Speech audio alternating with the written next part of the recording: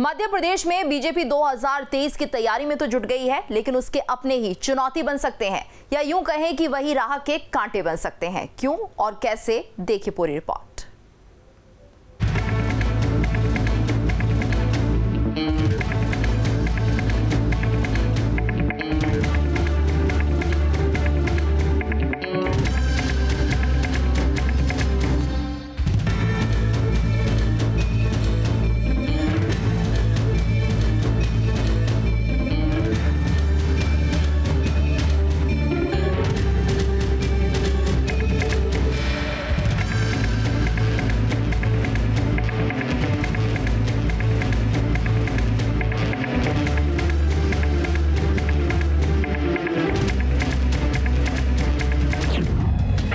2023 में बीजेपी की राह में रोड़ा।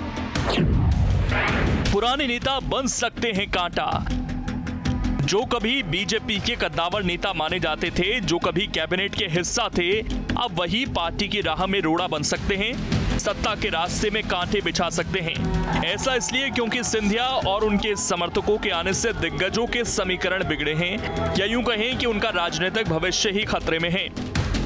चूँकि 2020 में बीजेपी को सत्ता सिंधिया की वजह से मिली थी, लिहाजा उस वक्त तो पार्टी उन असंतुष्टों को मनाने में कामयाब रही थी। लेकिन 2023 में वो टिकट की दावेदारी नहीं करेंगे, इसकी कोई गारंटी नहीं। अगर असंतुष्टों ने टिकट की मांग की और उन्हें दरकिनार किया गया तो ये तय है कि उन सीटों पर भीतरघात रोकना पार्टी के लिए बड़ी चुनौती होगी। यही खतरा पार्टी को भी सता रहा है और राजनीतिक गलियारों में भी इसकी चर्चा हो रही है। कि हमारी पार्टी में जो भी तय होता है या सामूहिक निर्णय से तय होता है और पार्टी का जो प्रदेश का संगठन है, केंद्रीय संगठन है, यह कार्यकर्ता के लिए जो दायित्व होता है, उचित समय पर उसको दिया जाता है।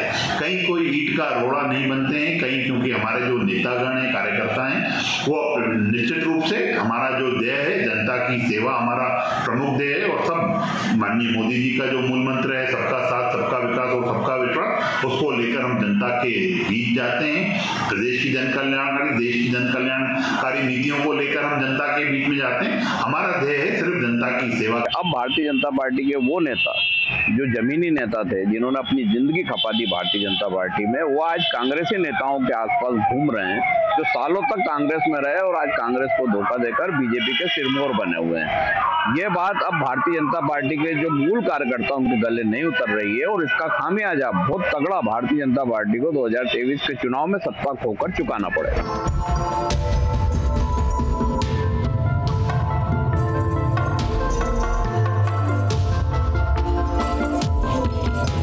दरअसल 2020 में जब सिंधिया अपने समर्थकों के साथ आए थे, तब जयभान सिंह पवैया गौरी शंकर शेजवार, जयंत मलैया, दीपक जोशी समेत सत्रह ऐसे दिग्गज थे जिनके राजनीतिक भविष्य खतरे में आ गया था। इन्हें अपनी सीट सिंधिया समर्थकों के लिए छोड़नी पड़ी थी, चूँकि अब इन सीटों पर सिंधिया के समर्थक काबिज हैं और सिटिंग विधायक होने के नाते उनका टिकट काटना पार्टी के लिए मुश्किल होगा। ऐसे में पार्टी बीच का रास्ता कैसे निकालेगी, ये बड़ा सवाल है। क्योंकि टिकट नहीं मिलने की सूरत में बगावती तेवर दिखा सकते हैं। अगले साल जो विधानसभा चुनाव होना है, वह जहाँ एक और कांग्रेस के लिए अस्तित्व की लड़ाई है, वहीं बीजेपी के लिए ये बहुत बड़ी चुनौती है। पिछले चुनाव में बीजेपी अकेली लड़ी थी और हार का सामना करना पड़ा था। उसके बाद कांग्रेस का एक गुट, सिंधिया गुट, उनके साथ आया और उन्होंने सरकार बनाई।